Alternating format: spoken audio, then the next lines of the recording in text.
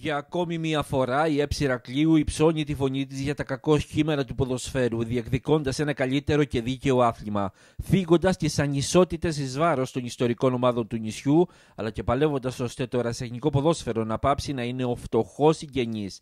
Σε αυτό το πλαίσιο διοργανώθηκε στα γραφεία της περιφέρειας Κρήτης μία ευρεία σύσκεψη από την Έψη Κλείου με τη συνεργασία της περιφέρειας και παρουσία κοινοβουλευτικών εκπροσώπων, φορέων και ομάδων, ξεχωρίζοντας η παρουσία της ΠΑΕΟΦΗ με τους Γιώργο Σαμαρά και Λεωνίδα Παπαβασιλάκη. Τα τέσσερα θέματα που θύχτηκαν κυρίως στη σύσκεψη ήταν πρώτον η χρηματοδότηση των ΠΑΕ της Super League και η άνηση επιχορήγηση μέσω ΕΡΤ σε 7 ΠΑΕ το καλοκαίρι, έναντι άλλων με μεγαλύτερη εμπορική αξία και υψηλό brand name. Δεύτερον, η αναδιάρθρωση των επαγγελματικών κατηγοριών με πρόταση να μείνουν 16 ομάδες στην Super League, δηλαδή να υποβιβαστούν 2 και όχι 3 συν 1.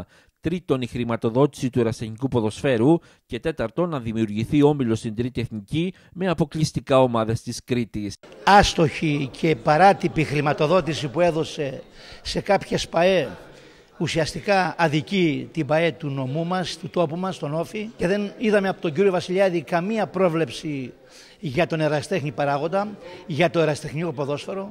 Χρόνια τώρα ο εραστέχνης παράγοντας και τα εραστεχνικά σωματεία δεν έχουν πάρει ούτε ένα ευρώ από την πολιτεία.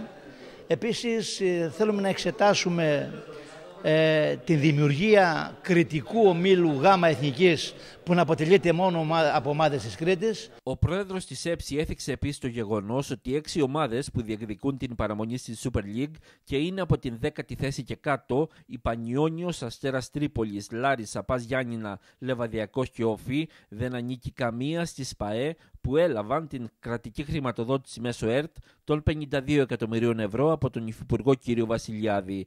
Μετά από πρόταση του βουλευτή Ηρακλείου κ. Σοκράτη Βαρδάκη, ο πρόεδρος της ΕΨΗ θα κληθεί θεσμικά στην Βουλή για να εκφράσει τις απόψεις του στην ακρόαση φορέων για το νομοσχέδιο που θα τεθεί προς ψήφιση το προσεχές διάστημα. Εμείς θα βοηθήσουμε στο μέτρο του δυνατού που μπορούμε όσον αφορά την διαμόρφωση ε, ενός συγκεκριμένου πλαισίου, ενός θεσμικού πλαισίου που θα θωρακίζει πλέον το εραστεχνικό ποδόσφαιρο. Χρειάζεται όμως πολλή δουλειά ε, είπα και στον Πρόεδρο ότι όσον αφορά το νομοσχέδιο και τα προβλήματα που πιθανόν αυτού, αυτοί βλέπουν ε, ή τις ε, διατυπώσεις πρέπει να αλλάξουν στο συγκεκριμένο νομοσχέδιο που έρθει άμεσα στη Βουλή, θα μπορεί σαν θεσμικό ρόλος, φορέας, ε, να συμμετέχει σε μια επιτροπή της Βουλής. Επίσης, μετά από πρόταση του εντεταλμένου συμβούλου σε θέματα αθλητισμού κ. Νίκου Συριγονάκη, θα καταγραφούν τα πιθανά προβληματικά σημεία του νομοσχεδίου, τα οποία θα σταλούν στους κοινοβουλευτικούς εκπροσώπους